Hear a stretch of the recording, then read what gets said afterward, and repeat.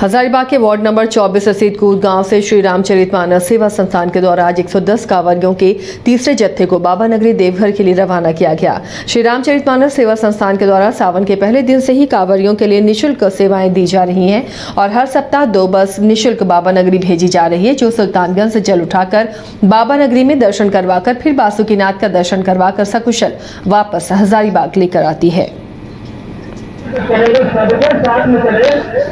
बस सब ऊपर वाले का आशीर्वाद है श्री रामचंद्र जी का माता जानकी का आशीर्वाद है बाबा भोले का आशीर्वाद है मैया पार्वती का आशीर्वाद है। मैं तो निमित्त मात्र हूँ मेरे पास कुछ भी नहीं है बस आप सबों के सहयोग से मीडिया बंधुओं के सहयोग से समाज के भाइयों के सहयोग से मैं इस पुण्य कार्य को करता हूँ और आप लोगों से पॉजिटिव एनर्जी मिलती है मैं आगे बढ़ता जा रहा हूँ। आप युवाओं को रोज़गार जी।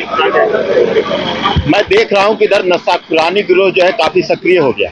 तो मेरे युवा भटक रहे हैं। तो जिनकी जो क्षमता है उनका जो पढ़ाई लिखाई का जो क्षमता है योग्यता है उसके आधार पर मैं उनको कहीं ना कहीं रोज़गार से जोड़ रहा हूँ। ये सेवाएँ जारी ये सेवा अनवरत विगत सत्रह वर्षों से चल रही है। सावन माह में जारी रहेगी। लेकिन श्री रामचरित मानस सेवा संस्थान बाकी सारे कार्य को तीन सौ पैंसठ दिन करते रहे।